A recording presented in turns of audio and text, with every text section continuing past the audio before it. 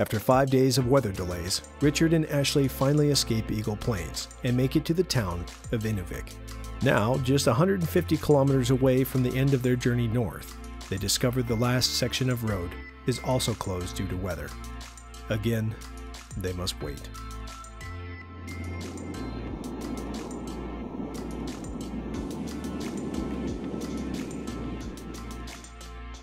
X Overland Solo Series is presented by General Tire and the Grabber ATX, the official tire of the Arctic Series, available at TireRack.com. And in association with Patriot Campers and P-Course Systems. Okay, so since the road to Tuk is closed, we're going to have another adventure and drive the ice roads to Aklavik today. Finding good stuff?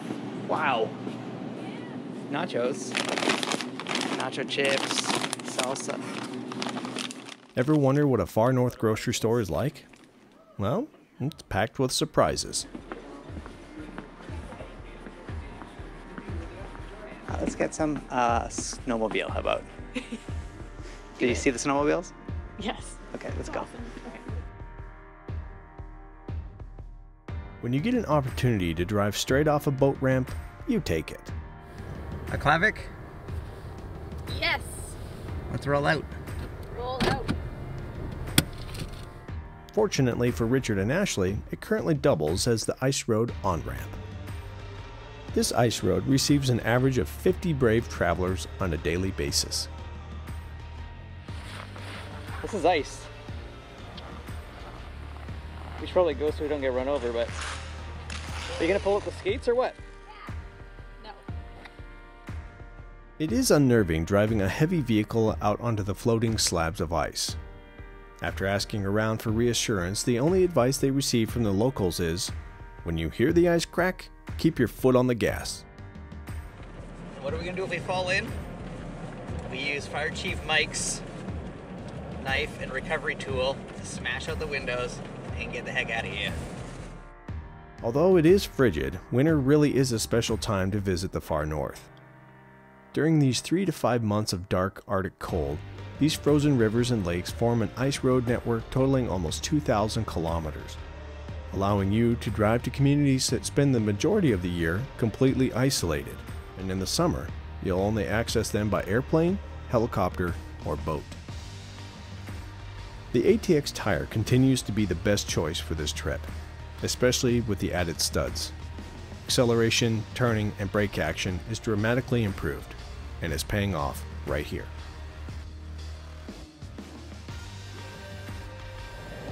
Please note the amount of water that we're on right now. The Mackenzie River Delta. Here's your minimum ice thickness safety chart. Ice just has to be 18 inches thick with fish under it, as per the diagram, for us to be safe, safe to drive on it.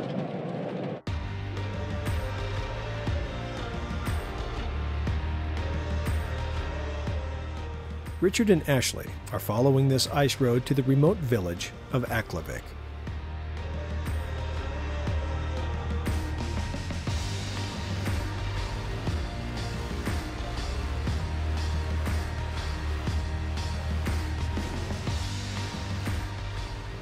Aklavik was once considered the transportation, commercial, and administrative capital of the Western Arctic. Due to its inaccessibility and remoteness, it was relocated to Inuvik in 1958. Most residents complied with the move to Inuvik. However, many stayed, living up to their motto, never say die. But one man took this a little too far. It is an epic story that began with the shooting of RCMP officer in 1931. It happened at the trapper's cabin located just outside the hamlet of Aklavik to become the most incredible manhunt of the 20th century.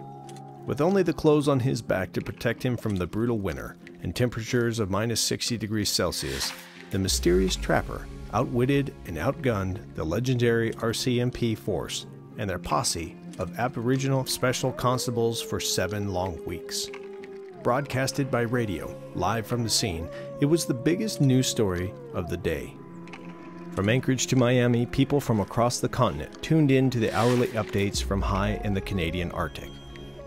Amidst howling huskies, dangerous trails, and frozen nights, through some of the harshest terrain in the world, the trapper impossibly kept the posse at bay and the public glued to their radios. In the end, with the superior tracking abilities of the posse of Aboriginal Special Constables and the assistance of aircraft piloted by Wop May, the trapper went down in a hail of bullets on the Eagle River on February 17, 1932.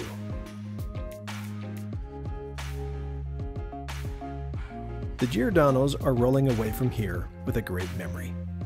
They can say that they have driven the frozen river to Aklavik and found where the mad trapper eluded the law. That's a great story, if you ask me. All you have to do is do what they did and say yes. A quick check of road conditions reveals the road to Tuk is still closed. So they meet up with their new friend Juan, who offers to take them out on a snowmobiling run. Now we are drinking right now, I'll show you. Come in. This is your accelerator. Okay. If you hit this button, it will turn off. Too hard. A quick lesson on sleds, and they're up and running. There you go. Wow. On the pack trail, Yeah. it will, if you turn, it will mostly steer.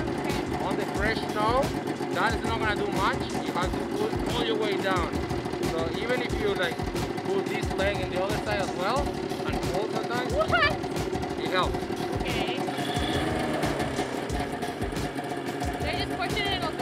Yeah.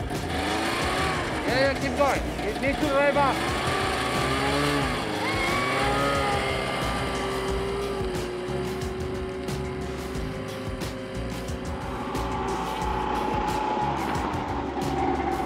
So now you should do it again, but twice as fast. What? I can't get up to 40 because I'm too scared. Aim for 40. I got to 20 I was like, ah! Are you ready?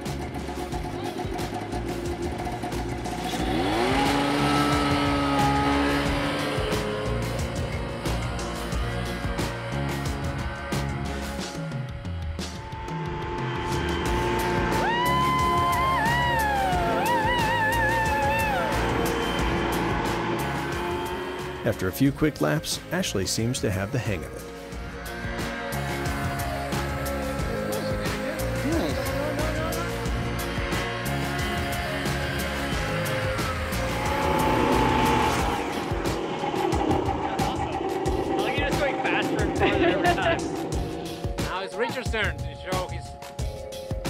Skills on the snow. Or lack thereof. Well, there's some skill. Very limited. You can. I've been here for 10 years. I'm not very skilled, so don't worry.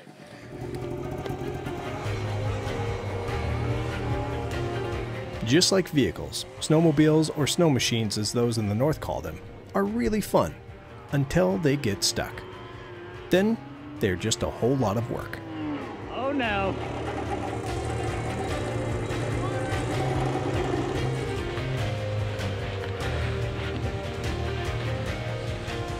Just on the. There you go.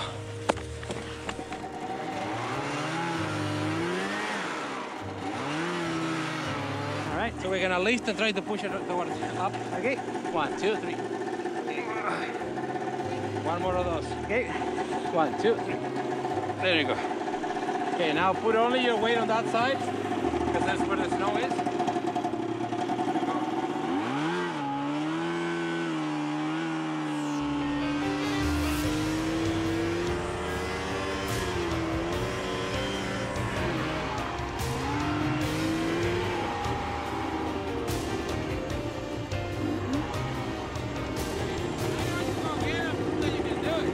I just proved I could not do it.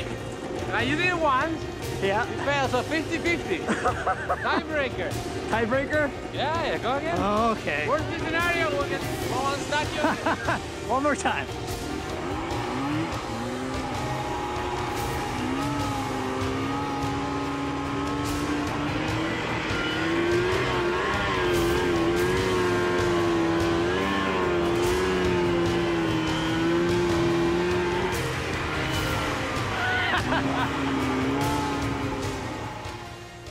It goes to show that wherever you are in the world, people want to share their lives and experiences with others. This is truly one of the best aspects of overland travel. Done. That felt really good. Yeah. Sweaty now. Oh yeah. That's when you take one layer and go again. Yeah.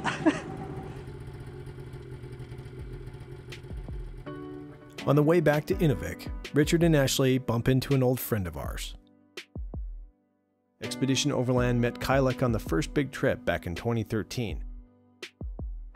Guys like Kylik are few and far between. He is truly a special guy with a passion for his people and land.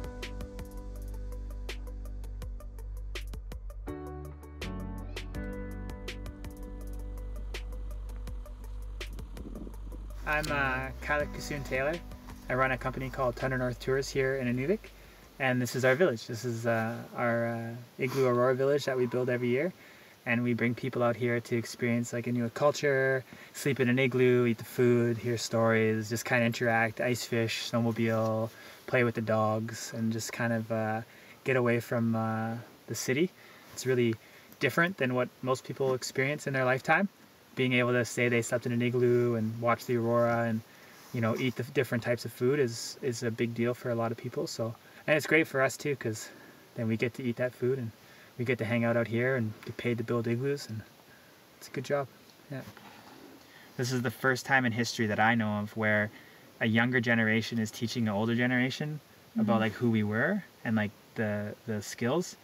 The knowledge has been like there was like a really definitive stop like mm-hmm. colonization and residential schools and like my you know we weren't allowed to speak our language. We weren't allowed to do any of this stuff so like my mom never built an igloo and my uncle never built an igloo and now they can come out here and spend time in one and we could show them how to do that. And they're mm. teaching us obviously the skills that they still retained even mm-hmm. though they went to residential school. They're teaching us that and that part of the history. But a lot of things have been like erased and but luckily it happened at a time when there were people writing books and like kind of mm. documenting it. We built this igloo one time and there were elders in there that were crying because they hadn't been in an igloo since they were born in one like 80 years ago.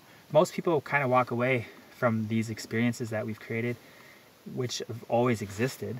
We've just hmm. made them accessible i guess. Hmm. You know either they are fall in love with winter they used to hate winter and now they think it's super fun and they're out snowshoeing and like Aw. oh you made winter fun. Like i didn't know it could be so neat to be Oh. in the winter. Like Yeah. most people some of our clients say winter was always just something to survive it was like uh just get through the winter and then now they're like oh man like i'm going snowshoeing and i rented a snowmobile and like they're they're more like wanting to be in the environment even when it's harsh um, because that's the most exciting time like I don't know. When there's a storm, that's the best time to go outside. Like that's when you feel alive, right? So that's what we're trying to do is like we just want to be able to show people like not only what it used to be like, but the beauty of what it used to be like.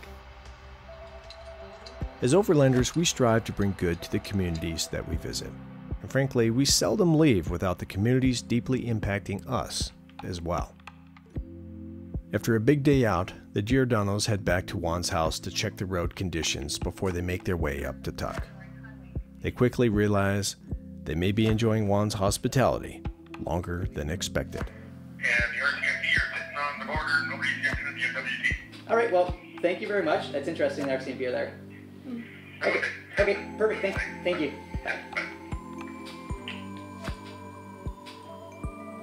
Welcome to our new home, Inuvik, also known as Juan's house.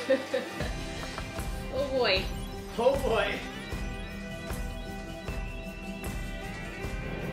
We are going dog sledding.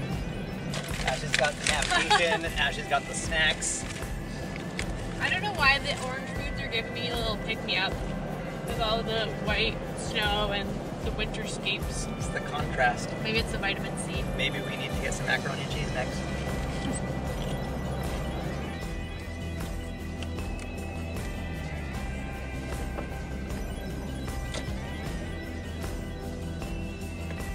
It's like an Arctic chalet if I've ever seen one.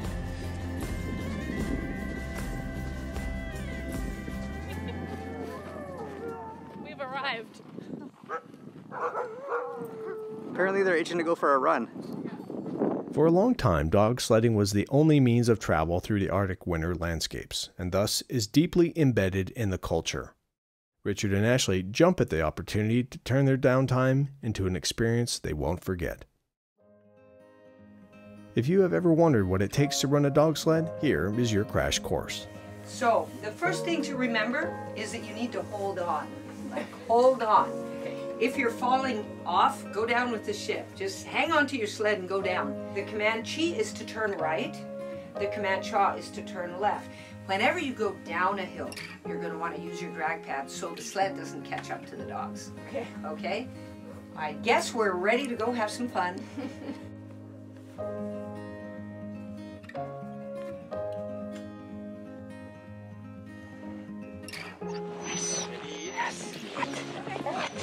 Nice to meet you guys. They're gonna take me for a ride. I can tell already.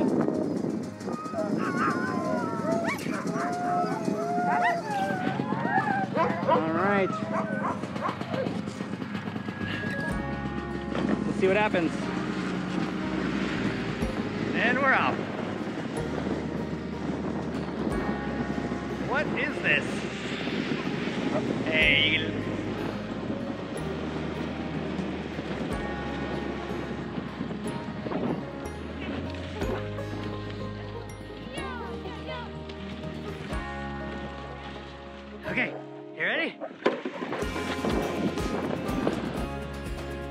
Chop.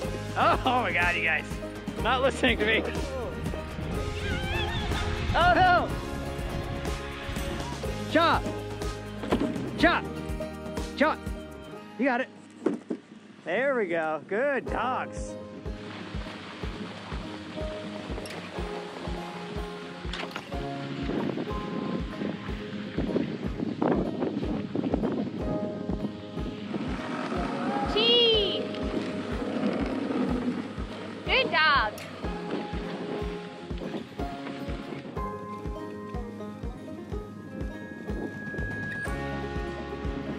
On, girls. Oh no! Ashley's down. Oh, where are you going, my love? You thought you had a faster team?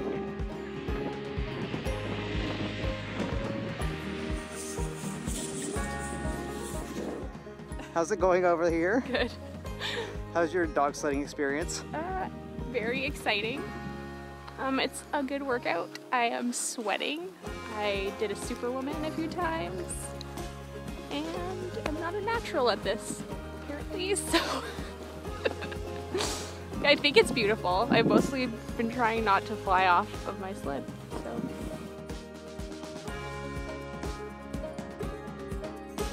get going?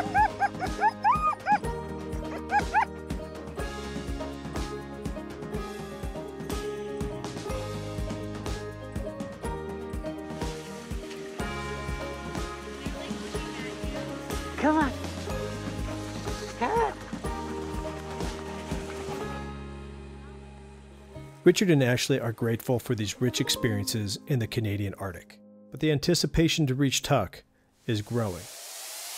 So join us next time for the thrilling conclusion and season finale of the Arctic Solo Series.